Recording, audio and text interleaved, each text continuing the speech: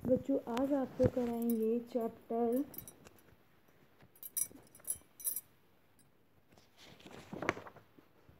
Chapter thirteen का second part रबड़ की आत्मकथा।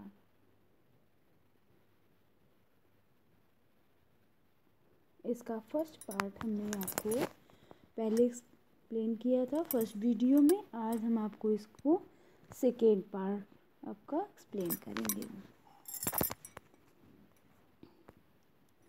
तुमने देखा होगा डॉक्टर ऑपरेशन करते हुए, बड़े जख्मों पर पट्टी करते हुए मुझसे बने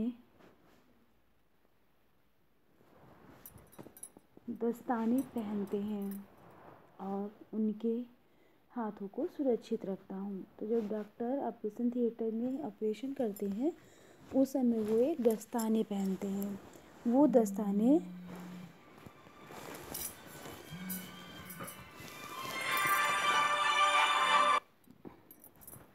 वो दस्ताने रबड़ से बने होते हैं।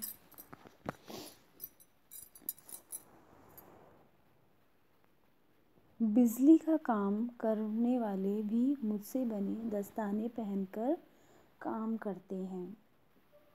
इनसे इन्हें बिजली का झटका नहीं लगता। Cycle, scooter, car, bus, truck सबके पहियों में जो टायर ट्यूब पड़ते हैं, वो किससे बनते हैं? रबड़ से। मुझसे बने ट्यूब को कमर में बाँध कर लोग तैरना भी सीखते हैं। अब तो तुम जान ही गए होगे कि मैं कौन हूँ। मैं हूँ रबड़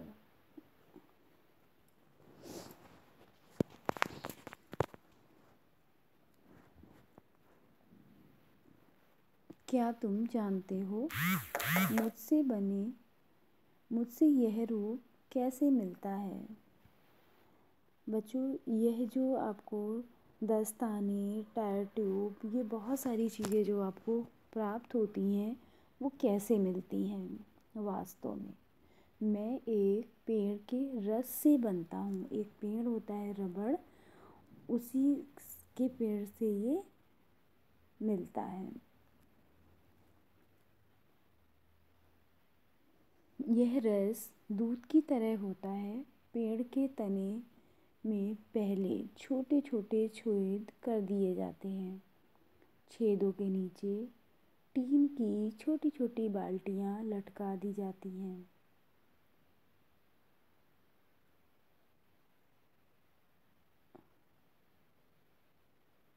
छेदों में से दूध निकलता है, उसे बाल्टियों में इकट्ठा कर लिया जाता है। इस दूध को पानी में डालकर उबाला जाता है। मशीनों से इसे सुखाया जाता है। फिर कारखाने में मुझे चादरों के रूप में बदल दिया जाता है। इन्हीं चादरों से दस्ताने, जूते, बरसाती, टायर ट्यूब आदि सामान बनाए जाते हैं। रुको रुको। प्लास्टिक भी तो तुम ही हो ना? रिवान ने पूछा। नहीं। नहीं मुझे प्लास्टिक मत कहना। वह तो मेरा बनावटी रूप है, विज्ञान का करिश्मा। नकली, उससे तो बचकर ही रहना। रियान ने रबड़ को हाथ में ले लिया, उसे इधर उधर घुमाया, कुछ सोचते हुए मुस्कराया। फिर बोला, रबड़ महाराज, आप मिलते कहाँ हो? पता तो बताया ही नहीं।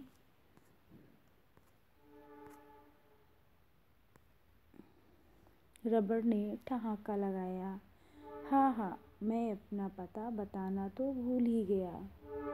मेरे पेड़ दक्षिण भारत के दक्षिणी भाग में असम त्रिपुरा राज्यों में पाए जाते हैं। वहाँ घूमने जाओ तो मेरे बगीचों में ज़रूर जाना। ओके स्टूडेंट तो सभी बच्चे इस पार्ट को पढ़ेंगे।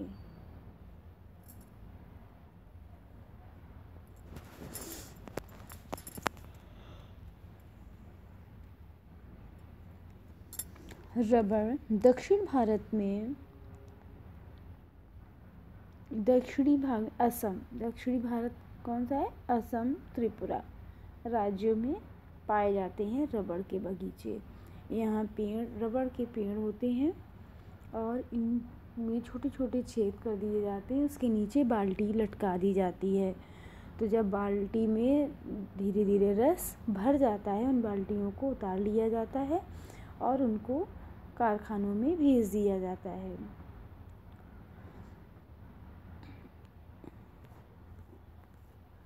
चलो, इसको भी देखते हैं। रबड़ में मिटाने का गुण पता। हालाँकि जोसेफ प्रिस्टली ने लगाया था, लेकिन इरेजर के आविष्कार का श्रेय एक ब्रिटेनी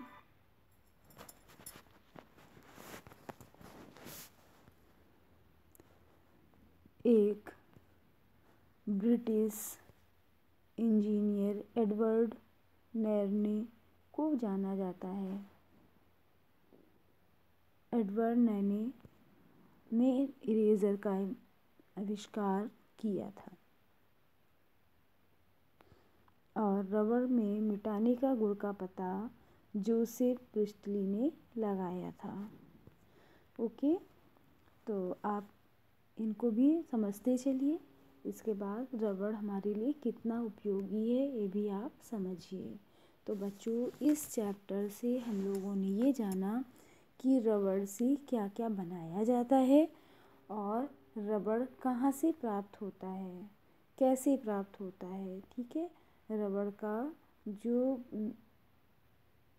रूप होता है, वो क्या होता है? ठीक है?